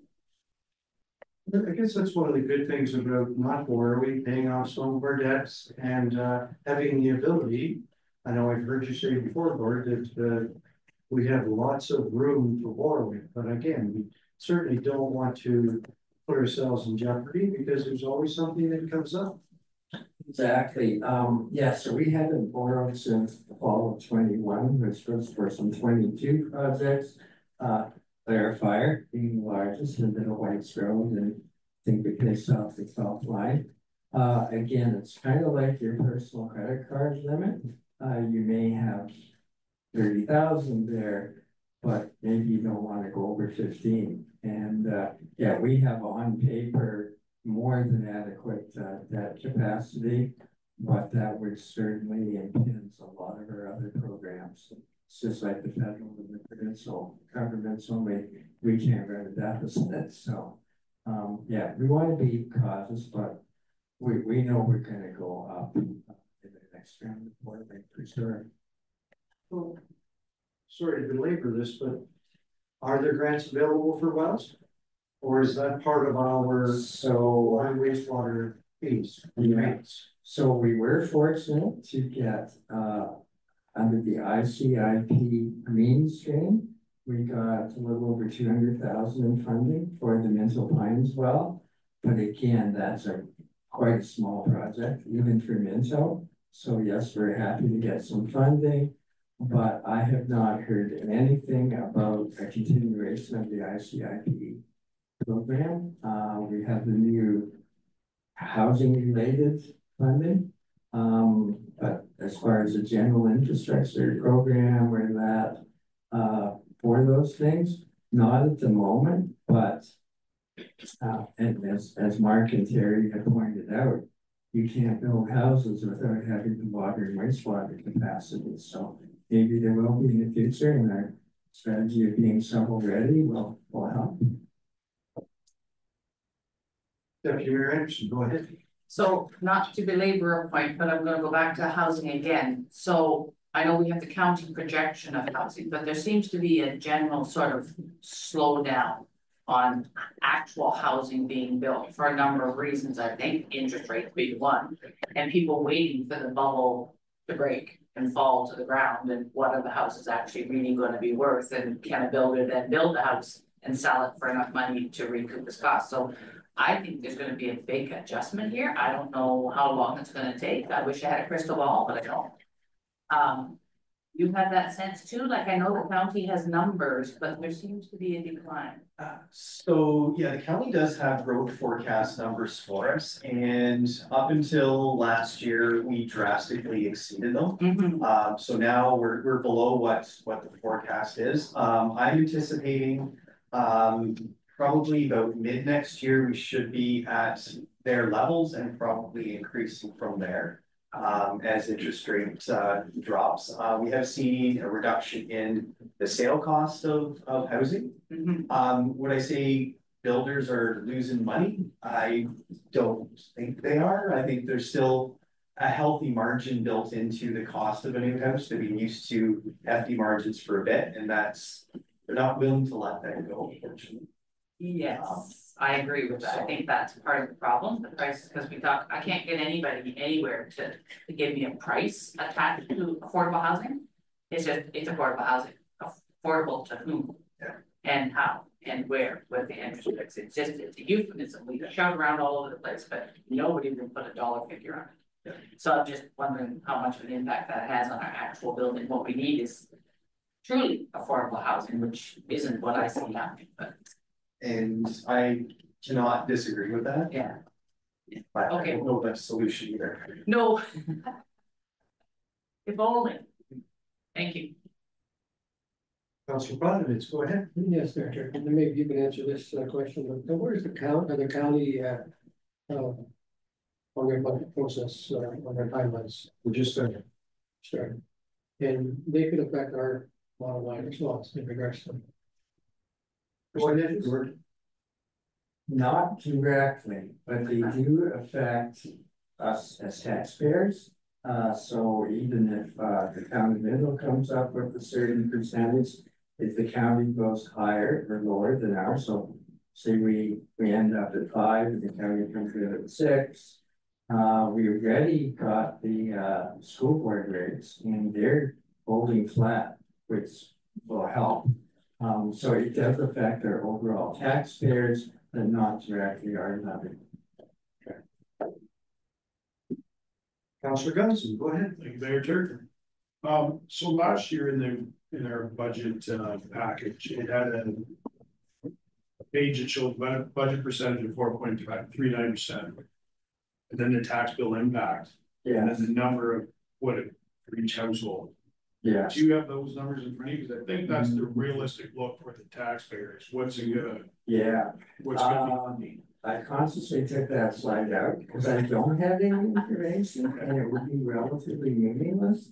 Uh, it depends on where you get like the actual assessment role.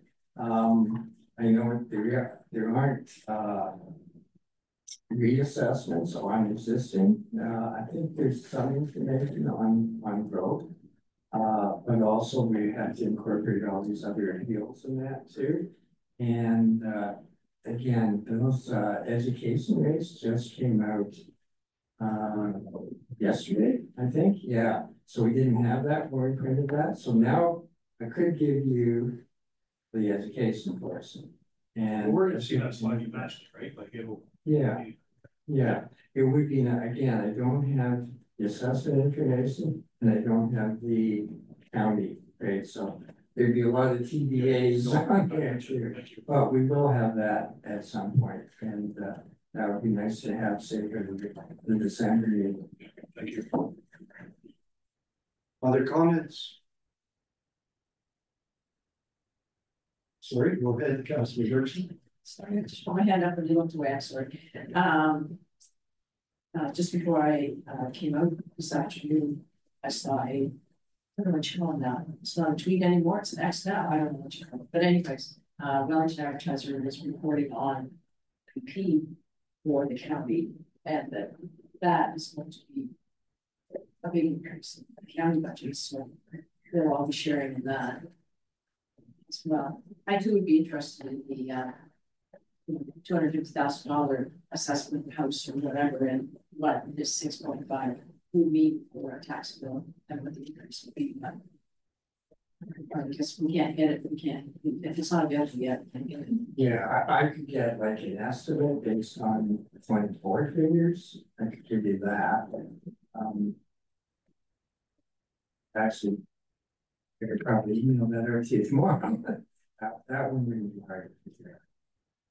Just of, just, I guess. And maybe two fifty is the right number, I can't remember what's the biggest. You're not far off, because again. it's Delayed in the reassessment, that figure's not changing. Uh, I'll consult with the county to see if they have any figures, because normally they give, uh, an average for the single family dwelling. In the county by municipality, uh, so I'll see if they have that, but I know I could do it on twenty-four, because we know what that is. Yeah. Other comments? I mean, go ahead, uh, Deputy Mayor. Just to refresh my family member, what was our rate increase last year and what was the impact per household? Cause I didn't go looking that up, I should have probably, anybody else got that off the top of their head? Do you want me to just say what it says for the operating budget that we did last year? Cause I got a slide in front of me. Yeah, I think it So- like four point three nine. Four point three nine, Yeah, overall tax bill impact was one point seven four. So for an average residential home of two hundred fifty thousand, twenty-three dollars and thirty-three cents. there you go. It would- I don't know, average like that. But that, that's only the operating budget, that's it, right? There's Yeah. nothing else. Okay, thank you. I thought it was around there, but I couldn't remember for sure.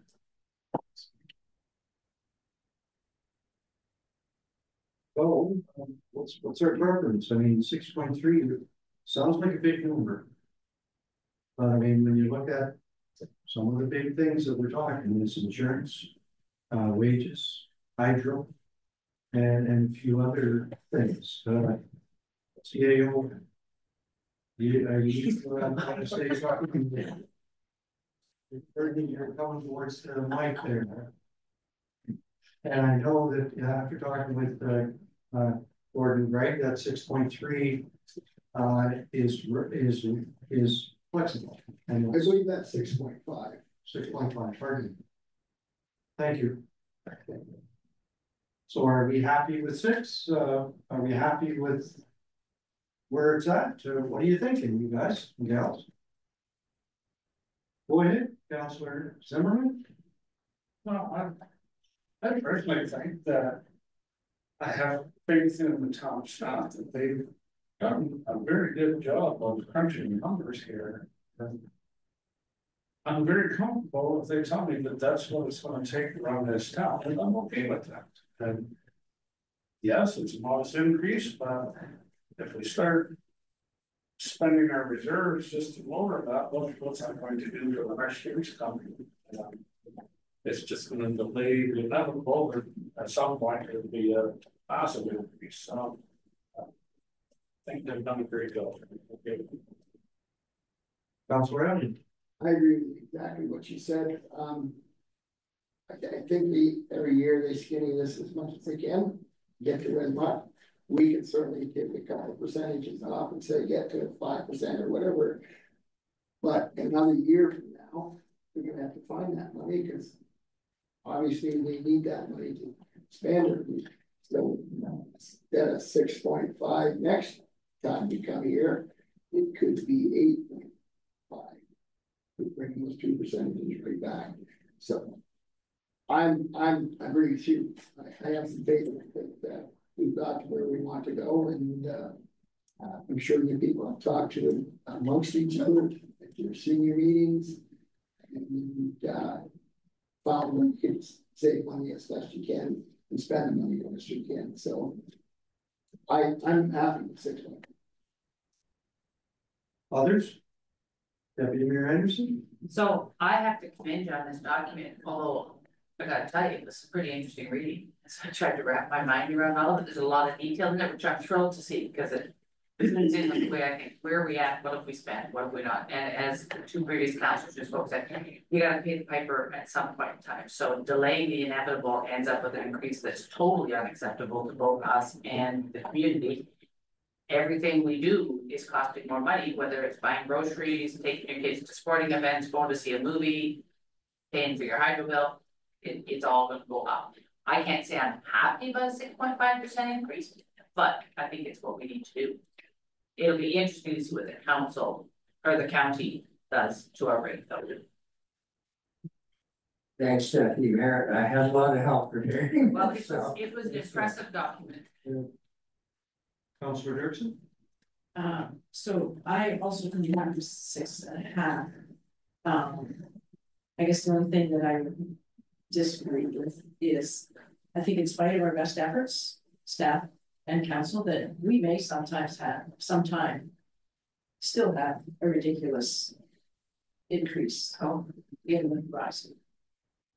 But hopefully making this one six and a half instead of four and a half, for instance, will help mitig- mitigate that sometimes.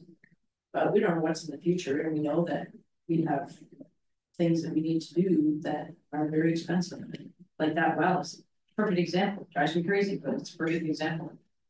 Of spending a lot of money to find some water. Oh, next, probably should make the same comments. Um. Can't take away hydro, can't take away our employees, right? So. Those are the, we talked about the big four, the increases, so we can't take that stuff away, so you know. I'm, I'm pretty happy with six point five percent, it's not like there's outrageous requests in there from the staff, so. I Tend to agree with everybody, the staff has done a great job and. Other than a little, like, cost of living, the insurance and, right, hydro, there's nothing we can do about that anyway, so. yeah. Okay, so, uh, Yeah.